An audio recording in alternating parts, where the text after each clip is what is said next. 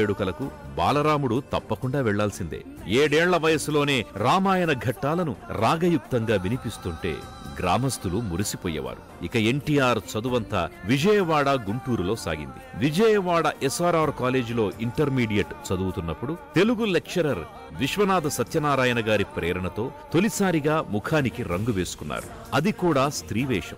రాచమల్లు దౌత్యం నాటికలో నాగమ్మ పాత్ర పోషించి first prize అందుకున్నారు ఎన్టీఆర్. దాంతో సహజంగా ఆయన దృష్టి రంగస్థలం మీదకు మళ్ళింది. అనితర సాధ్యమైన రీతిలో నటించడానికి అద్భుతమైన పాత్రలు పోషించడానికి తొలి అడుగు అక్కడే పడింది. కుటుంబానికి చేదోడు వాదోడుగా ఉండడం కోసం సైకిల్ పై విజయవాడ వీధుల్లో ఇంటింటికి తిరిగి పాలు పంపిణీ చేసిన యువకుడు సూపర్ స్టార్గా ఎదగడం చారిత్రాత్మక సంఘటన. పంతొమ్మిది వందల నలభై రెండు మే రెండవ తేదీన బసవతారకం గారితో ఆయన వివాహం జరిగింది. ఎంతో అణుకువ కలిగిన మహా ఇల్లాలామే.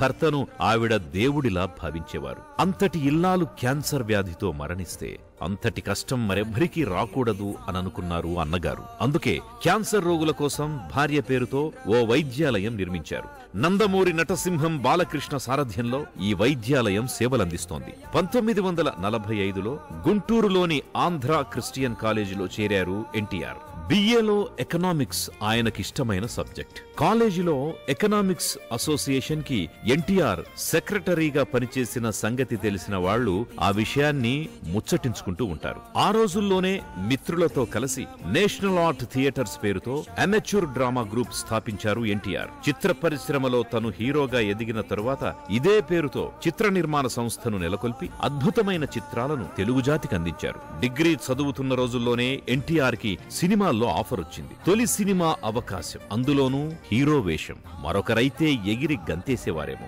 కానీ ఎన్టీఆర్ చదువు పూర్తయితే కాని సినిమాల జోలికి రాను అని ఖచ్చితంగా చెప్పేశారు. డిగ్రీ పూర్తయిన తర్వాత మిలిటరీలో కింగ్స్ కమిషన్డ్ ఆఫీసర్ పోస్ట్ కోసం ఇంటర్వ్యూకి డెహ్రాడూన్కి వెళ్ళడానికి ఎన్టీఆర్ సిద్ధమైన తండ్రి వద్దు అనడంతో ఆగిపోయారు. ఆ సమయంలోనే మన దేశం చిత్రంలో చిన్నదే అయినా కీలక పాత్ర ఉందని మద్రాసు రమ్మని దర్శక నిర్మాత ఎల్వి ప్రసాద్ కబురు చేశారు. చిన్న పాత్ర అనేసరికి ఎన్టీఆర్ వెళ్ళకుండా ఉండిపోయారు. అంతలో మద్రాస్ సర్వీస్ కమిషన్ పరీక్షల్లో నెగ్గి సబ్ రిజిస్ట్రార్ ఉద్యోగానికి ఎంపికయ్యారు. నెలకు నూట తొంభై రూపాయల జీతానికి గుంటూరులో ఉద్యోగంలో చేరారు ఎన్టీఆర్. మన దేశం చిత్రంతో పాటు పల్లెటూరి పిల్ల చిత్రంలో హీరోగా అవకాశం రావడంతో ఉద్యోగానికి రాజీనామా చేసి మద్రాసు పయనమయ్యారు ఎన్టీఆర్. పంతొమ్మిది వందల నలభై తొమ్మిదిలో విడుదలైన మన దేశం చిత్రంలోనే తొలిసారిగా ఆయన తెరపై కనిపించారు. పల్లెటూరి పిల్ల చిత్రంలో అక్కినేనితో కలిసి తొలిసారిగా నటించారు. ఎన్టీఆర్ సినీ జైత్ర యాత్ర పంతొమ్మిది వందల యాభైలో ప్రారంభమై